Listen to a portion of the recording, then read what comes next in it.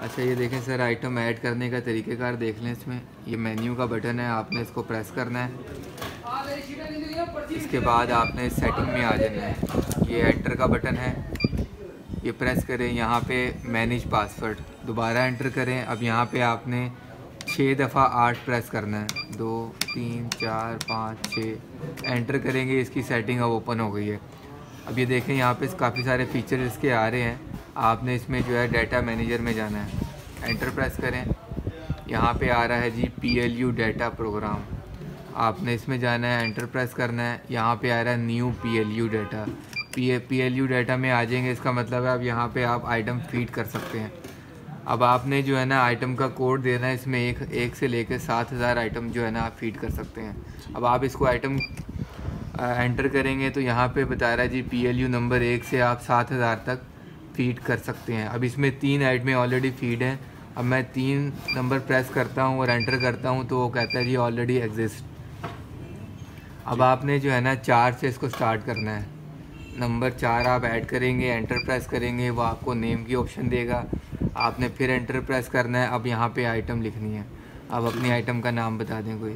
Sunsilk लिख Sunsilk लिख लेते हैं जी हम इसमें। S U M S I L के अब ये सनस्लिक हमने लिख दिया एंटर प्रेस करना है।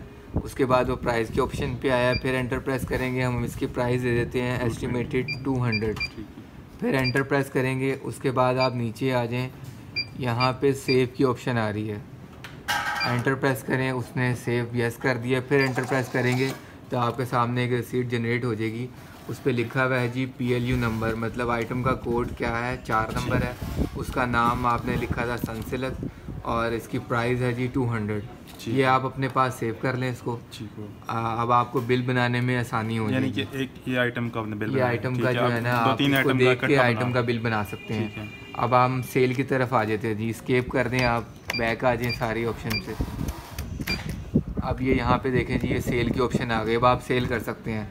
अब कोई कस्टमर हमारे पास आता है जी सनसिल्क लेने। वो कहता है जी दो सनसिल्क मुझे दे दें। आपने क्वांटिटी प्रेस करनी है दो मल्टीप्लाई आइटम का कोड फोर कोड है आपने फोर प्रेस करना है और पी एल यू सेल का बटन दबाना है।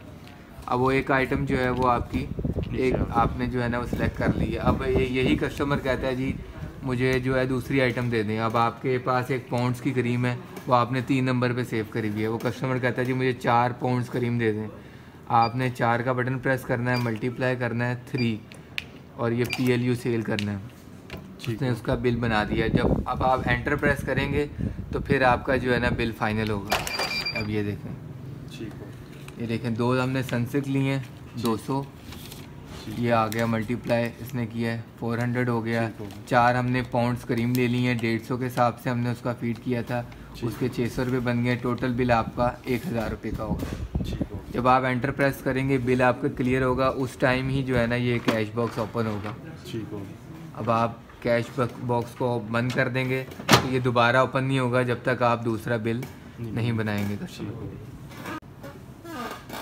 अब मैं आपको बताने लगा इसकी डेली रिपोर्ट कैसे निकलेगी। आपने मेन्यू का बटन प्रेस करना है। ठीक है। इसकी सेटिंग में आना है।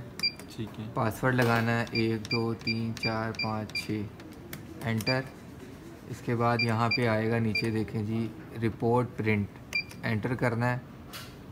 अकाउंट मोड ये आ गया नीचे डेली सेल रिपोर्ट इसको आप क्लिक एंटर करें फिर दोबारा से एंटर करेंगे तो ये आपकी डेली सेल रिपोर्ट आ गई।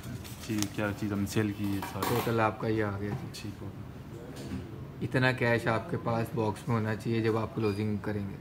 ठीक है चार हज़ार पाँच सौ बीस रुपये जी।